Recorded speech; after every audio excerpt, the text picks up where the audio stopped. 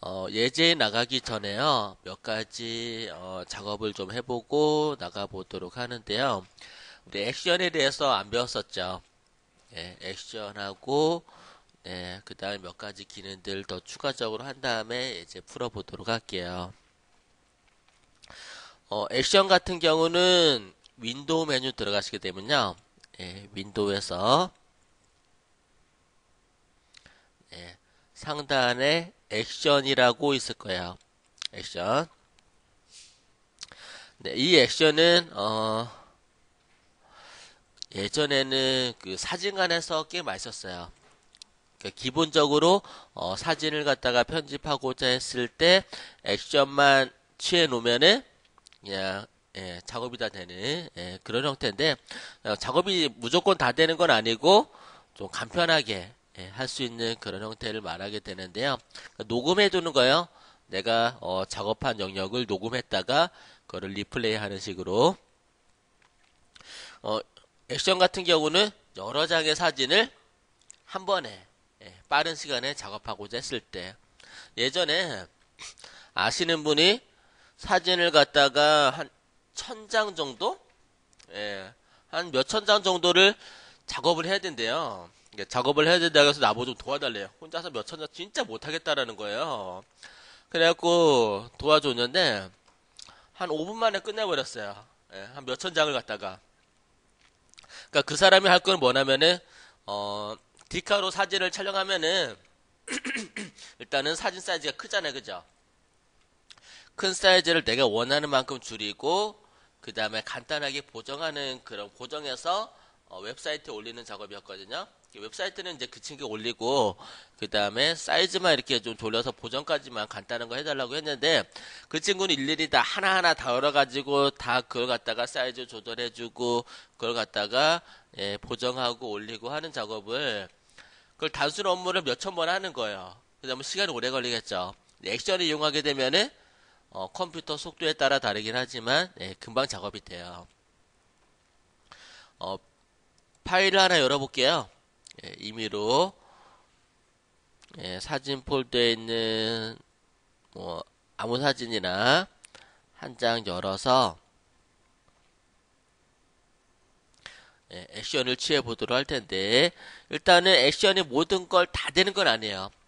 수치를 입력해야 된다거나 어, 디테일하게 선택을 해야 되거나 예, 그럴 때는 어려울 수가 있어요. 지금 보시면은 제가 사진을 한 장 열었는데 사진 사이즈가 좀 크네요.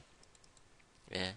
그래서 어, 요 사진을 갖다가 간단하게 사이즈를 줄여서 뭐, 예, 몇 가지 좀 작업을 한 다음에 저장을 해 보도록 하는데, 윈도우에서 액션을 한번 열어볼게요.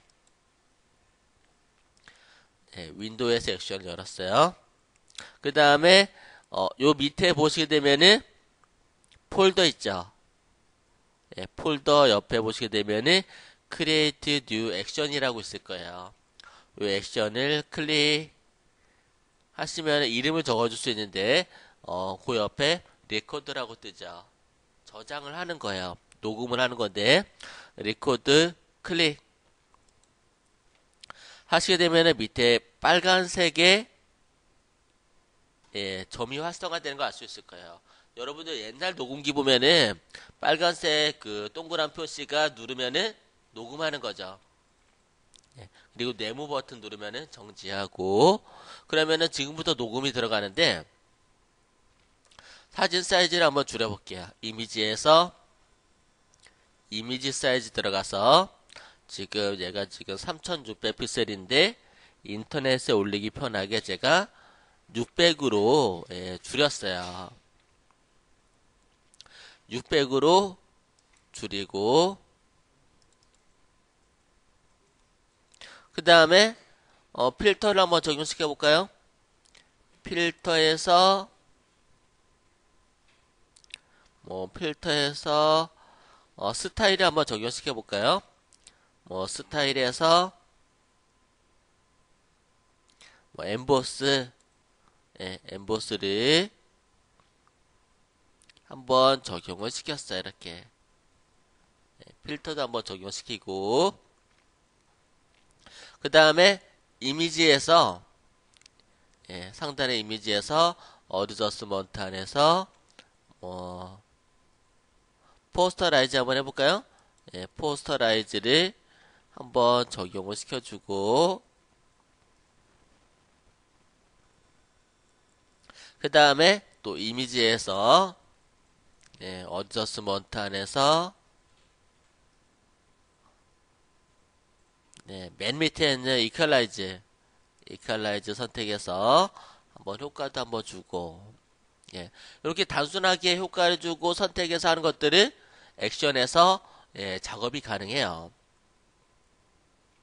그 다음에 또 다른 거 한번 넣어볼까요? 필터 들어가서 예, 텍스처에서 텍스처에서 어, 모자이크 타일 한번 줘볼까요? 모자이크 타일 예, 모자이크 타일을 이렇게 한번 주었어요. 뭐 대략 예. 그러니까 작업을 하는 게 아니라 예, 이런 어떤 효과를 기억하고 있는 거예요, 얘네들은. 그럼 나는 이런 작업을 이렇게 효과를 줬어요. 그리고 어, 정지 예, 스톱 플레이를 누르게 되면은 상단에 액션이 시작이 되는데 처음에는 이미지 사이즈를 줄이고 엠보스를 주고 포스터 라인을 주고 이퀄 라인을 주고 모자이크 타일을 주고 요 순서대로 순서를 계속 반복하는 거예요. 플레이 버튼을 누르면은 그래서 내가 어떠한 작업을 갖다가 예, 저장을 해 놓고 다른 사진을 한번 불러올게요. 파일에서 오픈으로 예, 사진을 하나 불러왔어요. 그러면 여기다가 액션에서 예, 밑에 삼각형의 플레이 플레이를 갖다가 하게 되면은 자동으로 그 효과가 들어가 버려요. 예, 이렇게 금방 되죠. 이런 식으로. 근데 사진에 따라하고 사진의 색감에 따라가고 느낌이 좀 다르게 나오긴 하죠. 예, 필터 쓴 게. 또 다른 사진 한번 불러볼까요? 아파트 사진 가져볼까? 예. 사진 하나 가져왔어요. 그리고 요거를 다 기억하고 있다가 플레이만 누르면은 예, 자동으로 다 되는 거야. 이런 식으로. 예. 그러니까 요게 액션의 기능이 되겠어요. 그러니까 내가 작업하고자 하는 걸 갖다가 기억을 해놨다가 예, 플레이만 누르면은 자동적으로 알아서 다 만들어지는 형태가 액션이게 되겠어요.